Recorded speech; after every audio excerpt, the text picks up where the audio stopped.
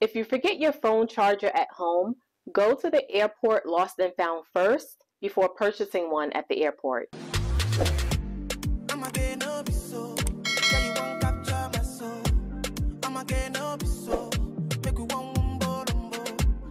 Hey guys, I'm Crystal Amanda and welcome or welcome back to my channel.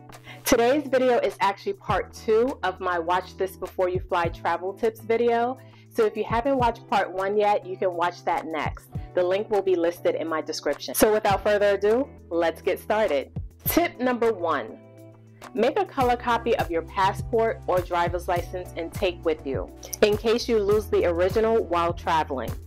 Also, email a copy to yourself so that you have an electronic copy saved. Tip number two, if you're checking in luggage and you want to know if it meets the weight requirement before you arrive at the airport, invest in a portable luggage weight scale. Check with your airline first on their weight limit because if your luggage exceeds the limit, the airlines charge an additional overweight fee. Tip number three, if you're checking in luggage, take a picture of your luggage inside and out, just in case it gets lost. So when authorities ask what your luggage looks like, you will be able to show them. Tip number four, if you're checking in luggage, remember to remove old barcode stickers and bag tags from the outside of your luggage before returning home or your next trip.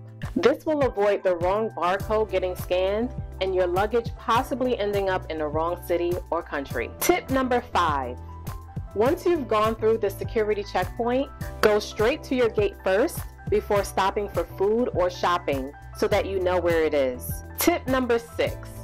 If you forget your phone charger at home, go to the airport lost and found first before purchasing one at the airport. If after 90 days and lost items are not claimed, they can assist if they have a charger to match your phone.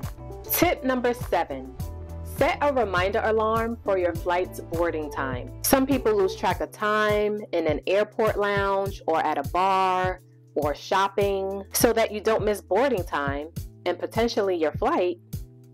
Set that alarm. Tip number eight, if you're traveling with a carry-on luggage and a personal bag, some airlines will allow a fanny pack as an additional item, but not a crossbody bag or a clutch. So if you have a crossbody bag, either try to convert it to a fanny pack around your waist or you may be asked to fit it in your carry-on or personal bag. Tip number nine, if you mostly travel domestic, consider enrolling in TSA PreCheck. TSA PreCheck is an expedited airport security program that you can sign up for.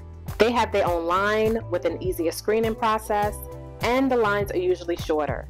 You don't have to remove your jacket or your shoes, nor take out your electronics or liquids. So you will submit an online application, pay the $85 fee, which covers five years.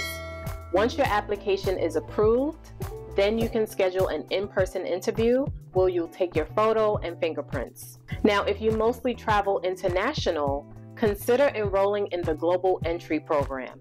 Global Entry expedites the customs arrival process to the US and it includes TSA PreCheck. They have their own customs section with kiosk machines so you don't have to wait in a long customs line. And it's the same enrollment process like TSA PreCheck.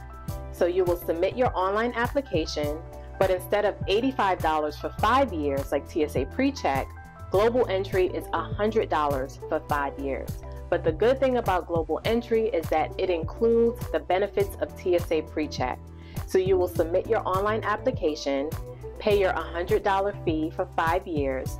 Once your online application is conditionally approved, you can then schedule your in-person interview where you will take your photo and fingerprints. I will eventually record a video comparing TSA PreCheck with Global Entry and the process that I went through when I enrolled for Global Entry.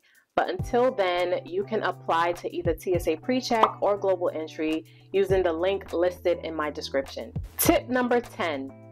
Some airports don't even have TSA PreCheck available. So if you have TSA PreCheck, Verify this with your departure airport in advance or before booking your trip. Well, that is all I have for today's video, but if you have any other travel tips to share, comment down below. And if you enjoyed this video or found it helpful, Please like and share and don't forget to subscribe. As always, thanks for watching and I will see you in my next video. Bye guys! Provocation, c'est ça qui commence la pagaille. La pagaille. Imitation, c'est ça qui commence la pagaille.